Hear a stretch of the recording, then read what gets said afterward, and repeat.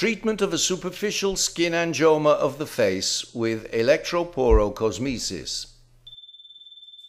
Since she was born, this patient has had a superficial skin angioma in the zygomatic and malar regions and on the right side of the nose.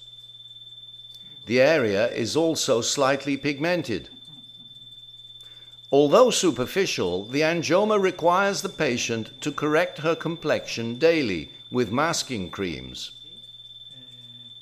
Electroporocosmesis is one of the standardized techniques of timed surgery.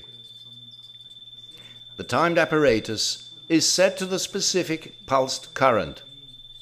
Direct pulsed, 0.3 to 5.3 hundredths of a second. Coag, 38 watts. A rotating electrode is fitted.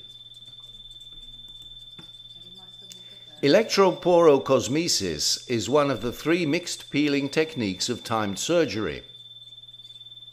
We have called these peeling techniques mixed because the physical phase, which provides access to the dermis, is followed by a chemical phase.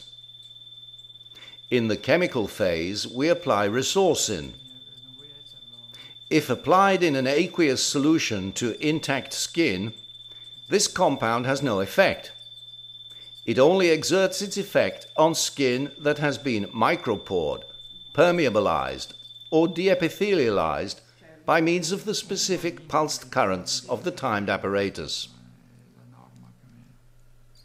Electroporocosmesis utilizes our patented rotating electrodes.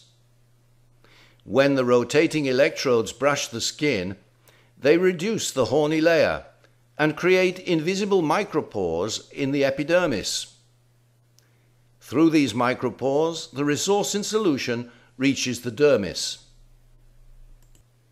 Resorcin is the chemical compound most frequently used in mixed peeling. It is able to firm up the skin, eliminate wrinkles, and reduce or eliminate the hyperpigmentations and superficial dilated vessels with which it comes into contact. Resorcin can also be used to depigment the skin. The resorcin is normally dissolved in water. However, in the treatment of superficial angiomas, it is dissolved in 3% hydrogen peroxide in order to increase its efficacy.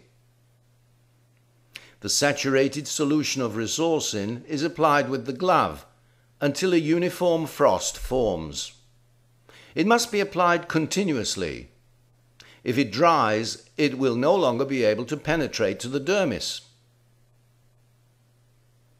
Once a uniform frost has formed, the resorcin is washed off with physiological solution. After 10 to 15 days, the skin exfoliates. The resorcin has eliminated the ectatic vessels and the hyperpigmentation of the superficial angioma.